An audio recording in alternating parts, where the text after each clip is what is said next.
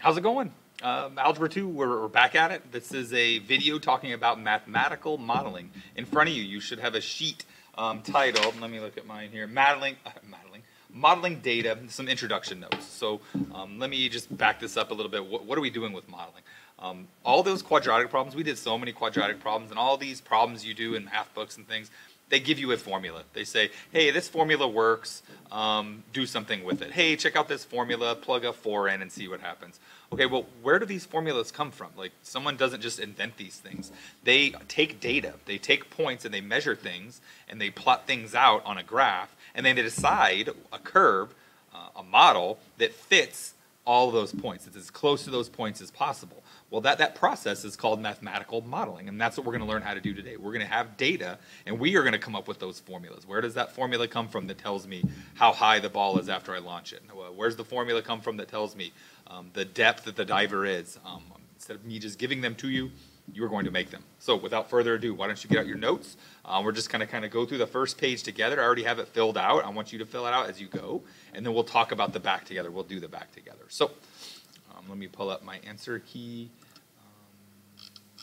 There it is right there. So here's our um, modeling. We learned earlier about the names of these higher order polynomials, all this modeling stuff we're going to be doing polynomials. You can model all kinds of things, different types. It just helps um, where we're at right now is a good spot to model. So we have a quadratic function, ax squared plus bx plus c. A cubic is a degree 3. We learned about the word degree. Um, that's the highest one. And then I need placeholders for all the ones underneath it. So an ax cubed, bx squared, cx to the first, and this is actually dx to the 0, but we don't write x to the 0 because it's 1, and it's kind of invisible. A quartic would be to the fourth power, and then all the placeholders. So then I asked you to write the standard form for a quintic, that's a to the fifth power. So the very first term should be y equals, I kind of messed that up here, how about a y equals ax to the fifth power plus bx to the fourth, and all those other things all the way down the line. Okay, that would be the model for a quintic. So now that we know how to write those, we can start to use them going on forward. So uh, this next definition is basically what we just talked about. We can ask Desmos to fit any one of those polynomials we want. We can say, hey, is this a good fit? Is this a good fit? Is this a good fit? Any one of those um, to whatever set of data we have. That process is called modeling. Right there. It's in purple. Great. Well, Desmos is going to give us all these letters up here A, B, C, D, E, and F. It's going to tell us what numbers we should plug in there, what numbers those should be, to be as close to all of our dots as possible. We call those things those coefficients, the A, B, C, and D. We call them parameters. So you'll see on worksheets and things, I'll say write out the model using the correct parameters. That just means use the values that Desmos tells us. Okay. Uh, the next thing that Desmos is going to give us, it's something in statistics. If you take an advanced statistics course or even a regular statistics course, not Algebra 2, you'll talk about something called the R squared value. And the R squared value is just telling you how good of a fit is it. If that's a straight line and I try to put a curve on it, it's not going to fit very well. So my R squared value would be kind of low. If uh, my curve hits all of my dots perfectly, then that's a, that's a fit of 1. R squared would be equal to 1, and we call that perfect. So the closer the number is to 1, the better the fit is, R squared. The closer R squared is to 1, the better the fit, so the bigger the number. Okay? Um, here's what's going to happen. I, I, put in some fake data. We don't need to see it just yet. But then I typed in this magical formula. This magical formula right here, y1 tilde is in the top left corner of your keyboard, ax1 to the fourth, bx1 to the third. This is the formula that we asked Desmos, hey, I want you to fit a quartic to the fourth power to my data. And Desmos will say, okay, you want a quartic? I'll give you a quartic. If you use these parameters, these numbers in here for A, B, C, D, and E, then you're going to get an R squared value of 0.9553. That's pretty close, right? The bigger the number is, the closer to 1 it is, the better the fit. And this thing's pretty close to 1. So the next thing I want you to do is to write the actual model. What I'm saying right here is take A, B, C, and D from down here, those coefficients, and put them where they belong for A, B, C, and D in this formula. Uh, notice though, when I write this formula right here in red, there are no more ones, y1, x1, that, that stuff is gone. The tilde is gone, it's an equal sign. Those ones and that tilde is Desmos language. That, that's computer language that Desmos uses to, to fit um, the curve that it's fitting. For us, we're going to come up with a formula using those parameters. So this is what our formula looks like, the big ugly formula. Remember we talked about where does this formula come from? Here's where it comes from. Desmos and different computer software um, data software can fit these curves and tell us, hey, this is as close to the dots as you're going to get. So the next thing I want you to do is I want you to evaluate our function, figure out what y is when x is 13. Okay, so I'm plugging a 13, pretend like you couldn't see it, in for all of these x's. We learned some different ways to do that recently, didn't we? We can just plug it in using our calculator. We can do synthetic substitution. We can do it on a graph, and we'll do that a little bit later to practice that. But for this one, the tried and true method, let's plug these into our calculator. Taking all my x's out and putting in 13s. Uh, my y value would be 350.45 when x is 13. Awesome. Okay, so that's kind of the, the rundown of it. I did like the back half of problems, but let's look at the, the front half of problems. Let's start from the beginning. So let's flip over our paper, and you're going to get this table right here. This table is taking some data points, the intensity of a light bulb, that's like how a measure of brightness, if you will, um, at different distances. Obviously, the closer you get to a light bulb, the brighter it is. The further away you get, um, the less bright it gets. But how is that related? Is it a straight line? Is it something else?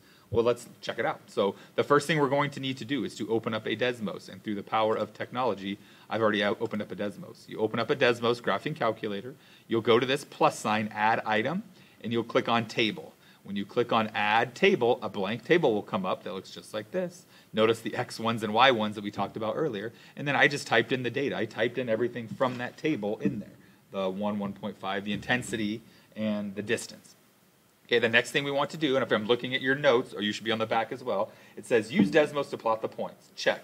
Make sure to zoom fit so you can see all the points. Notice there's five points over here, but I only see four. That's because I'm zoomed in. I'm looking at all this negative stuff that I don't need to. This little button right here is called zoom fit, little magnifying glass. When we click it, it zooms to show all the data that you just typed in there. It makes the perfect window for you. So here it is, five points. It doesn't look like a straight line. Something else is going on. Well, let's investigate more.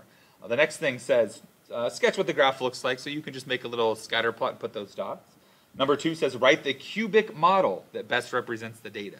Cubic model. So now we're typing in that special password into Desmos that is going to fit a curve to these points, a cubic curve, a cubic polynomial. We have to put all the ones in. You have to type in the special language. So here it goes. It's y1 tilde ax1 cubed, the degree is 3, that's a cubic, but we need all the other placeholders as well, plus bx1 to the second, bx1 squared, plus cx1 plus d. Wow, pretty darn close looking at it. Look how close this model is to hitting all of our dots, almost perfect. Well, I can see exactly how good it is statistically speaking by looking at the r squared value. The closer it is to 1, the better the fit. Man, oh man, is this a really good fit. R squared is 0.9987. That's what it's asking for on number three, so go ahead and write that down.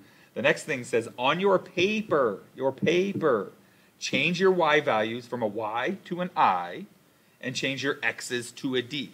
So this is just x's and y's jargon. Like, what does that mean as far as the problem? The problem is talking about distance and intensity. So let's go back to our notes. There's the little sketch you drew. Uh, we want the cubic model, so I'm writing the model. Uh, I'm taking my A's, B's, and C's out and putting them where they belong. No more ones and an equal sign.